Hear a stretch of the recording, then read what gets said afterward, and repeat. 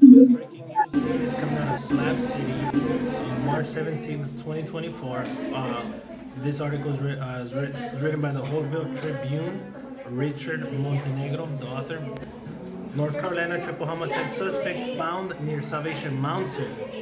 Benjamin Joseph Taylor awaits extradition in the murders of 22-year-old Markayla Johnson, 4-year-old Miracle Johnson, and 7-month-old Messiah Johnson in Charlotte, North Carolina.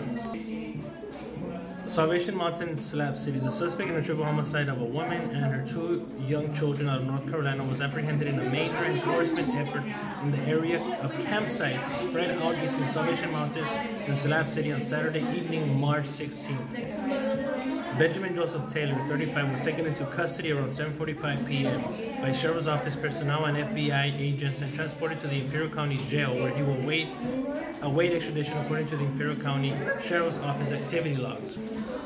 Sheriff Lieutenant Erro, uh, Sheriff Lieutenant Clinton Erro said the department became aware on Friday night, March 15, by the Charlotte Mecklenburg Police Department in North Carolina that Taylor might be in the slabs and that he was wanted in the triple homicide. Earlier Friday, shortly before 1:45 p.m., Charlotte Mecklenburg police officers were conducting a search warrant when officers discovered human remains and later identified them to be 22-year-old Markayla Johnson, 4-year-old Miracle Johnson, and 7-month-old Messiah Johnson.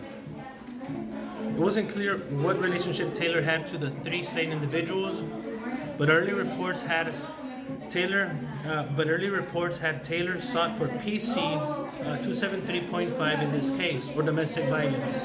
A brief press conference posted to the Charlotte Mecklenburg Police Department X page also mentions domestic violence but doesn't elaborate. A press release from the Charlotte Mecklenburg PD states that in addition to the three counts of murder, Taylor will be charged with one count of concealment of death. Erro said no one was injured in bringing Taylor to justice, and that's important at the end of the day. These were definitely serious allegations. We're, we're glad we could work together as a team and work with the Charlotte Mecklenburg Police Department, our border crimes suppression, our border crime suppression team, and the FBI. Erro said on Sunday morning, March 17th. Uh, it shows that we're all on the same page, and that's to keep the community safe, he said. Uh, local and federal law enforcement started to develop its information once the information came in on Friday night, and by midday Saturday, Erro said all of the North County uh, Sheriff's Patrol, the Border Crime Suppression Team, and the FBI were making contact in the area. Uh, Erro said it was uh, those contacts that led to someone calling in the sighting of Taylor just before 6 p.m. Taylor, who said to be staying in a camp in what is referred to as the second guard shack, about 200 yards north of Salvation Mountain on Beal Road, about an equal distance before reaching Slab City.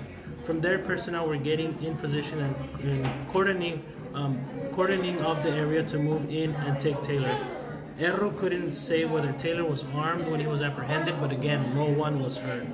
Uh, as for the slain mother and her children, according to Char- uh, Charlotte Mecklenburg PD, identification was made based on the uh, totality of evidence discovered and presumptively given the condition of the remains.